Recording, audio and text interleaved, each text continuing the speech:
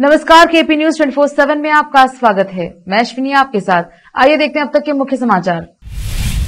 BJP के जिला अध्यक्ष शिवानंद मंडालकर ने जन्मदिन के अवसर पर मुमनाबाद में पत्रकारिता दिवस कार्यक्रम का किया आयोजन बीजेपी के वरिष्ठ नेता रहे उपस्थित Karnataka union of working journalist जिला यादगीर की ओर से यादगीर में जिला स्तरीय पत्रकारिता दिवस कार्यक्रम का आयोजन किया गया पत्रकारों को किया गया सम्मानित लोकसभा चुनाव अकेले लड़ेगी जेडीएस वहीं उतारेंगे उम्मीदवार जहां पार्टी मजबूत पूर्व पीएम देवेगौड़ा ने किया ऐलान डिप्टी सीएम डी के शिव कुमार का सनसनीखेज दावा सिंगापुर में रची जा रही है कर्नाटका सरकार गिराने की साजिश पीएम चाहे कुछ भी कहे हम इंडिया हैं राहुल गांधी का पलटवार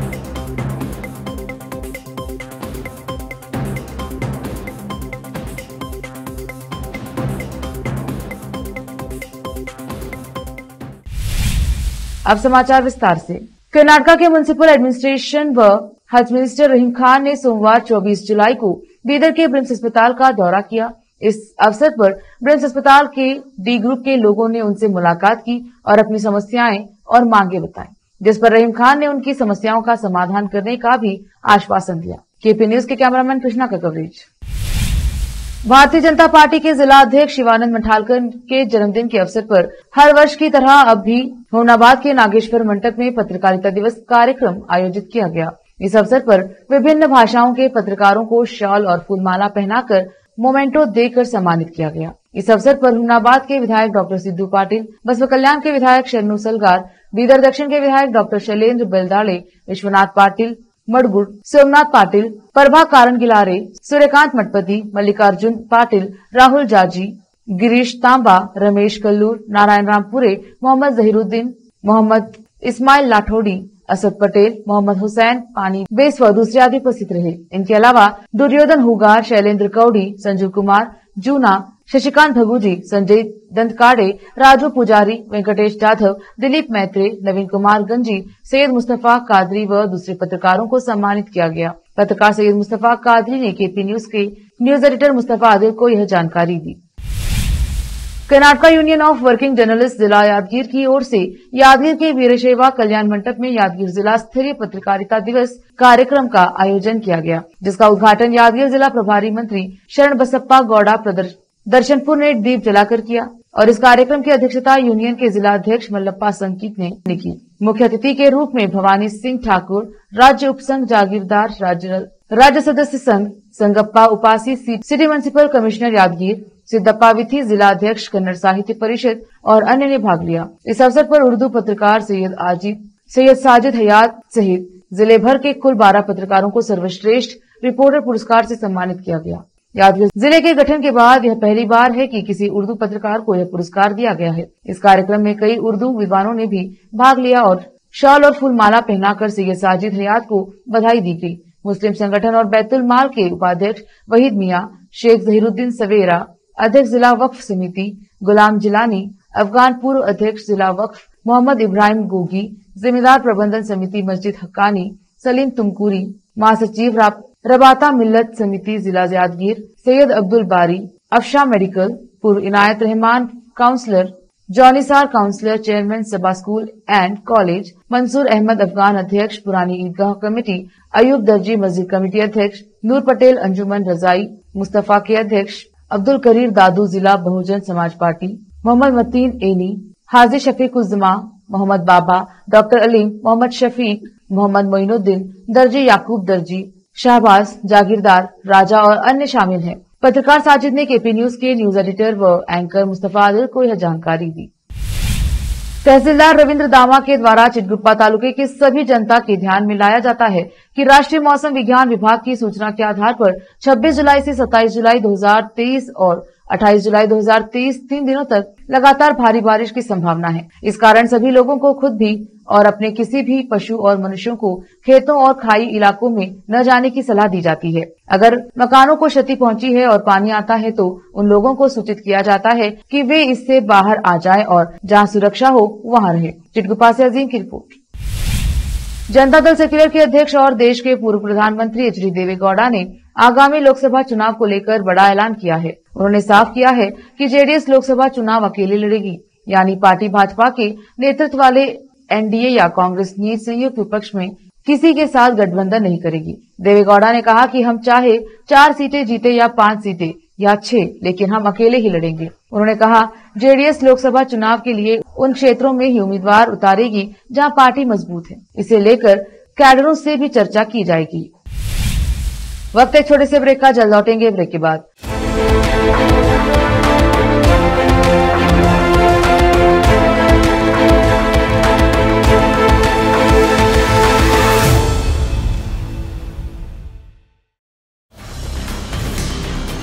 हिंदुस्तान के हर कोने में हम हैं मौजूद 24 घंटे हालात पर गहरी नजर खबरों से जुड़े चुपते सवालात और आपको दिखाता है धार्मिक सामाजिक राजनीतिक लोकल और इंटरनेशनल न्यूज की सबसे बेहतर कवरेज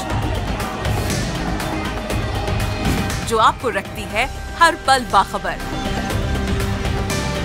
देश और दुनिया भर की खबर के लिए देखते रहें KP news 24/7 Noor education trust Bidar की ओर से चलाए जाने वाला Noor M Ed and B Ed college Bidar recognised by N C T Delhi and affiliated to Gulbarga University, Gulbarga. Admission are open for the academic year 2022-23. विशेषज्ञ और सक्षम शिक्षकों द्वारा शिक्षा प्राप्त करने के लिए Noor M Ed and B Ed college में दाखिला लें और शांत वातावरण में शिक्षा प्राप्त करें बीदर शहर में बेहतर शिक्षा का एकमात्र केंद्र Noor M.Ed and B.Ed College, Shapur Gate, Bidar. Phone numbers 9945283920, 848222127. शहर बीदर में अनमोल ग्रुप ऑफ रेस्टोरेंट्स की ओर से रॉयल अनमोल फैमिली रेस्टोरेंट और अनमोल रेस्टोरेंट के जरिए लोगों को स्वादिष्ट खानों के जरिए बेहतरीन सेवाएं प्रदान करने के झंडे गढ़ने के बाद अनमोल रेस्टोरेंट के मालिकों ने अब शहर बीदर के लोगों की सेवा के लिए कदम आगे बढ़ाते हुए अब शहर बीदर के सबसे व्यस्त इलाके में एक शानदार फंक्शन हॉल अनमोल पैलेस बनाया है शहर के हैदराबाद रोड पर स्थित ये शानदार अनमोल पैलेस फंक्शन हॉल अपने बेहतरीन लोकेशन बेहतरीन वातावरण और अपनी खूबसूरती के कारण सबके आकर्षण का केंद्र बन गया है यहाँ पर खूबसूरत हॉल दूल्हा दुल्हन के लिए खूबसूरत स्टेज खुला और हवादार डाइनिंग हॉल उपलब्ध है और साथ ही यहाँ पर अलहदा वेस्ट सेक्शन और वीआईपी सेक्शन भी मौजूद है अपने बच्चों की शादी वलीमा और दूसरे फंक्शंस के लिए आज ही दौड़े चले आइए याद रखिए अपने सभी प्रकार के फंक्शंस को यादगार बनाने का केंद्र है प्रोप्रिएटर अब्दुल खालिद और मोहम्मद बशारत अहमद की शानदार पेशकश अनमोल पैलेस फंक्शन हॉल यहाँ पर बुकिंग शुरू हो गई है फौरन आइए और फंक्शन हॉल बुक करवाइए Address near APMC Vegetable Market, Hyderabad Road, Bidar 585403. Booking करने और अधिक जानकारी के लिए इस नंबर पर संपर्क करें 8310357864 हिंदुस्तान के हर कोने में हम हैं मौजूद 24 घंटे हालात पर गहरी नजर खबरों से जुड़े चुपते सवालात और आपको दिखाता है धार्मिक सामाजिक राजनीतिक लोकल और इंटरनेशनल न्यूज की सबसे बेहतर कवरेज जो आपको रखती है हर पल बाखबर देश और दुनिया भर की खबर के लिए देखते रहें केपी न्यूज 24/7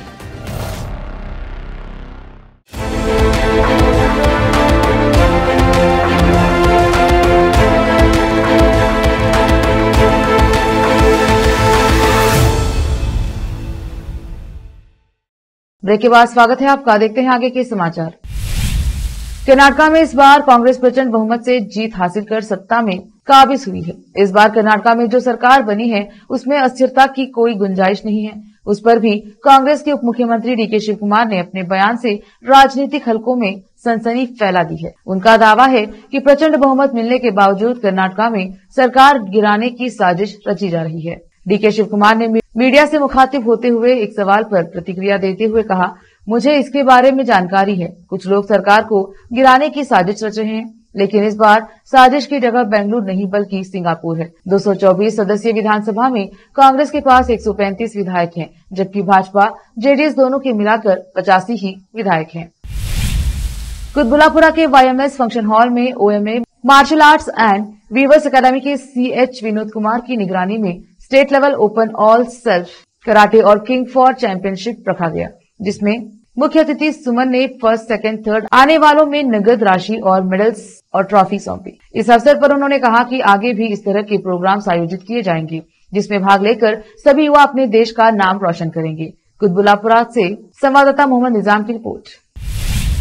वाराणसी के ज्ञानवापी विवाद से जुड़ी एक बड़ी खबर सामने आ रही है आज एएसआई सर्वे पर रोक लगाने वाली याचिका पर सुनवाई नहीं होगी आज ही मुस्लिम पक्ष ने सुप्रीम कोर्ट के आदेश पर एएसआई सर्वे पर रोक लगा दी है रोक की याचिका इलाहाबाद हाईकोर्ट में लगाई थी ज्ञानव्यापी मस्जिद की इंतजामिया कमेटी ने यह याचिका दाखिल की है आज दोपहर दो बजे मस्जिद कमेटी की इस याचिका पर इलाहाबाद हाईकोर्ट में सुनवाई होनी थी लेकिन अब इस मामले में सुनवाई कल ग्यारह बजे सुनवाई हो सकती है जिला जज के आदेश पर ज्ञानवापी परिसर में कल से शुरू हुए आर्कोलॉजिकल सर्वे ऑफ इंडिया के सर्वेक्षण एएसआई पर रोक लगाए जाने की मांग को लेकर मुस्लिम पक्ष के इलाहाबाद हाई कोर्ट में याचिका दाखिल की जिस पर आज सुनवाई होनी थी लेकिन प्रक्रियात्मक चीजों में हुई देरी की वजह से सुनवाई नहीं हुई मस्जिद कमेटी की याचिका में 21 जुलाई को आए जिला जज के फैसले को रद्द किए जाने और अंतिम फैसला आने तक इस पर रोक लगाए जाने की गुहार लगाई है यह याचिका मस्जिद कमेटी ने सुप्रीम कोर्ट के निर्देश पर दाखिल की है सुप्रीम कोर्ट के निर्देशों का हवाला देकर इस याचिका को अर्जेंसी के आधार पर आज ही सुनने की भी अपील की गई है कांग्रेस के पूर्व अध्यक्ष राहुल गांधी ने प्रधानमंत्री नरेंद्र मोदी द्वारा विपक्षी गठबंधन Indian national developmental inclusive alliance पर निशाना साधे जाने के बाद मंगलवार को उन पर पलटवार करते हुए कहा कि प्रधानमंत्री इस गठबंधन को लेकर कुछ भी कहें लेकिन यह इंडिया है जो मणिपुर को मरहम लगाने तथा हर महिला और बच्चे के आंसू पहुंचने में मदद करेगा कांग्रेस नेता ने यह भी कहा कि यह विपक्षी गठबंधन मणिपुर में भारत की अवधारणा के पुनर्निर्माण करेगा राहुल गांधी ने ट्वीट किया मोदी जी आप हमें जो चाहे संबोधित कर लें हम इंडिया हैं हम मणिपुर को मरहम लगाने और हर महिला एवं बच्चे के आंसू पोछने में मदद करेंगे हम राज्य के सभी लोगों के जीवन में प्यार और शांति वापस लाएंगे हम मणिपुर में भारत की अवधारणा का पुनर्निर्माण करेंगे यूं तो सोशल मीडिया पर मनोरंजन और हास्य विनोद कराने वाले वीडियोस खूब वायरल होते रहते हैं लेकिन कई बार ऐसे मामले भी सामने आ जाते हैं जो कि आपका मनोरंजन कराने के साथ साथ कई बार आपकी समस्याओं का समाधान का तरीका भी पेश कर देते हैं फिलहाल सोशल मीडिया पर वायरल ट्रेन खरीदने के लिए मांगे गए 300 करोड़ रुपए के लोन का ऑडियो क्लिप एच बैंक के ग्राहक प्रतिनिधि के साथ हुई टेलीफोन वार्तालाप का हिस्सा है यह सोशल मीडिया पर खूब धमाल मचा रहा है आखिर में फिर एक बार देखते हैं मुख्य समाचार बीजेपी के जिला अध्यक्ष शिवानंद मंडालकर ने जन्मदिन के अवसर पर मुमनाबाद में पत्रकारिता दिवस कार्यक्रम का किया आयोजन बीजेपी के वरिष्ठ नेता रहे उपस्थित Karnataka union of working journalist जिला यादगीर की ओर से यादगीर में जिला स्तरीय पत्रकारिता दिवस कार्यक्रम का आयोजन किया गया पत्रकारों को किया गया सम्मानित लोकसभा चुनाव अकेले लड़ेगी जेडीएस वही उतारेंगे उम्मीदवार जहां पार्टी मजबूत पूर्व पीएम देवेगौड़ा ने किया ऐलान डिप्टी सीएम डी के शिव कुमार का सनसनीखेज दावा सिंगापुर में रची जा रही है कर्नाटक सरकार गिराने की साजिश पीएम चाहे कुछ भी कहे हम इंडिया हैं राहुल गांधी का पलटवार